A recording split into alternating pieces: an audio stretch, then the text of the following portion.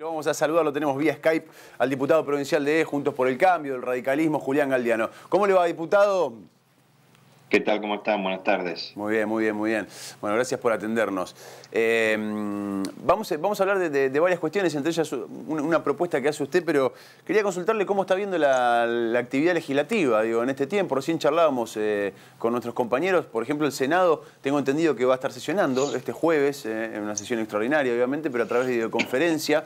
¿Qué pasa en la Cámara de Diputados? ¿Cómo está esta cuestión en diputados? Bueno, estamos convocados para mañana jueves. En primer lugar, para elegir autoridades en la sesión preparatoria. Vamos a funcionar en el Paraninfo de la Universidad Nacional del Litoral.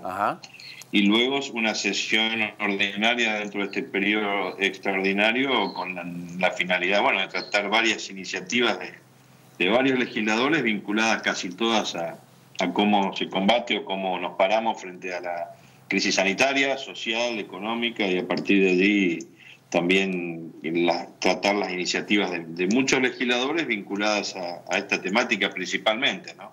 Y también vamos a modificar el reglamento a los efectos de poder a partir de ahora, cosa que ya hizo el Senado, como vos bien mencionabas, eh, poder realizar nuestras sesiones de una manera que no impliquen la necesidad de la presencia física de los legisladores, que es un poco la traba que todavía tiene el reglamento de la Cámara de Diputados. En, el Congreso Nacional también, eh, los, eh, por ejemplo, las comisiones están funcionando a través de videoconferencias, lo cual es interesante que sí, se nosotros también. En, el caso de diputados, la, verdad que estas herramientas que ahora toda la ciudadanía, no solamente los legisladores, descubrimos de la la posibilidad de encontrarnos de manera no presencial y que bastante le estamos sacando el jugo todos en lo que podemos.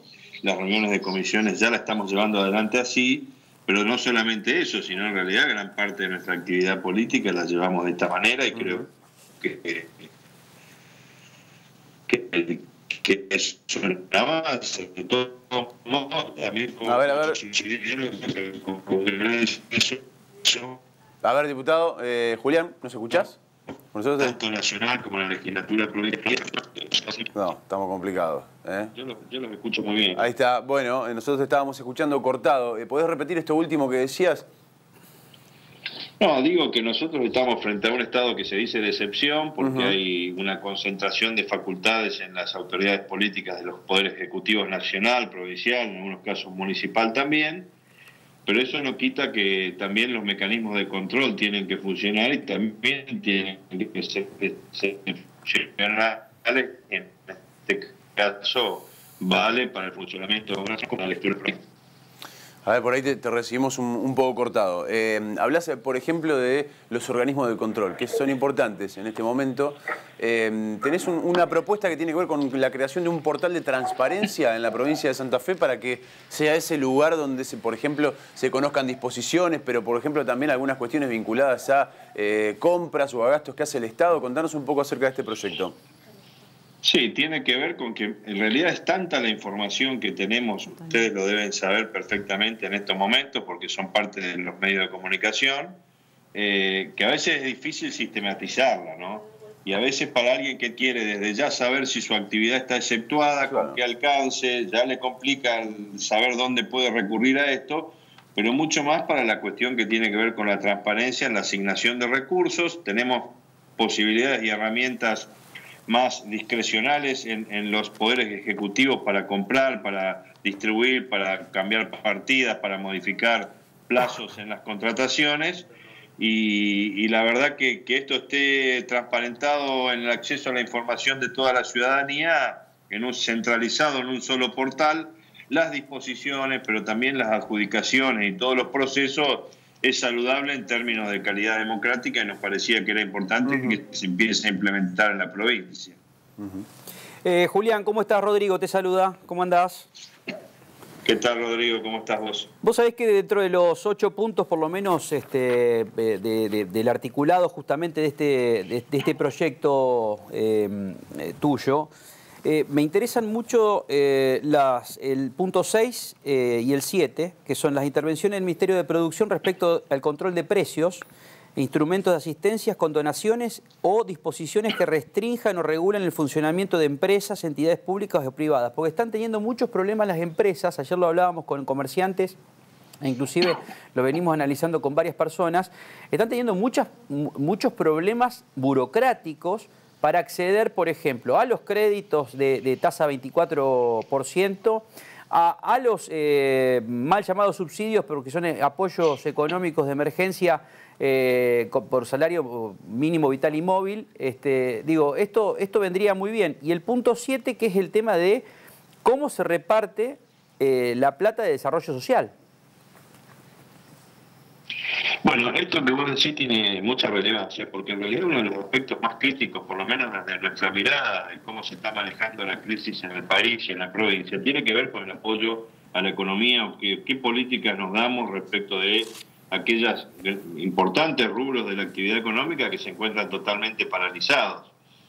Vos tenés, por ejemplo, las, las, normativas de AFIP para el programa de asistencia al trabajo, que todavía nadie sabe a ciencia cierta cuándo se van a poder materializar si ese aporte del Estado Nacional se va a vincular a los salarios eh, del mes de marzo o ya al del mes de abril, eh, cuál va a ser la fecha aproximada en la cual se piensa liquidar, porque la FIP pide informes, uno llena los instructivos, pero después de a partir de ahí hay una incertidumbre absoluta de cuándo esto efectivamente se puede materializar y la incertidumbre para el empleador, pero también para el trabajador. Por supuesto, eso, eso, eso sobre todo. Y los mecanismos también de asistencia que se pueden implementar. También hay una falta de, información real, de decir, bueno, a ver, estos son los plazos, usted puede recurrir a estas entidades financieras, son las que tienen convenio y retiraron fondos del del, plano nacional del vice para poder financiar esta tasa o dar la sociedad de garantías recíprocas para dar garantía a los créditos que, se sacan, como vos bien decías, al 24%. Bueno, esto por un lado. Y por otro lado, lo que tiene que ver con la asignación a municipios, porque acá eh, nosotros, desgraciadamente, en estas épocas de crisis, eh, eh, bueno, perdemos todo porque la, economía afecta a la totalidad de la, sociedad y al tejido social se resiente y nadie puede sentirse que, sale ganando en una situación de este tipo. Pero si hay una característica de estas crisis es que se nivela para abajo en los niveles de administración.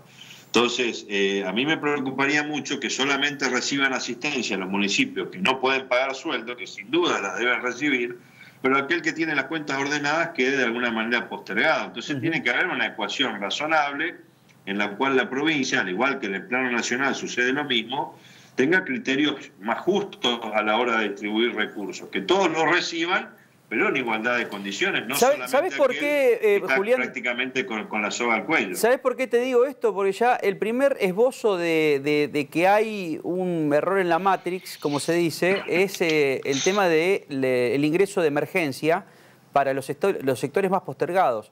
Eh, recién van a poder cobrar en mayo lo que iniciaron como preinscripción un 27 de marzo. Digo, estamos hablando de 40 días para poder obtener 10 mil pesos.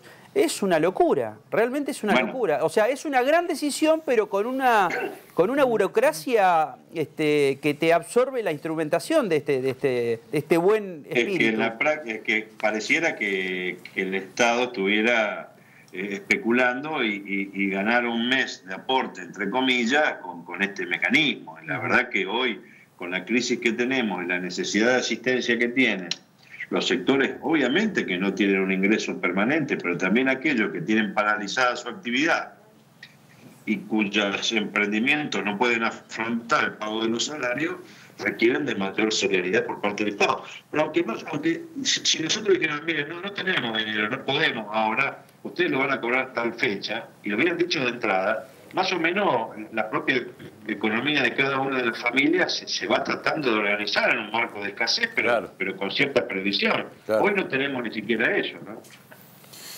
Diputado, gracias por estos minutos, ¿eh? muchas gracias por, por, esta charla. No, muchas gracias a ustedes y disculpen por la conexión.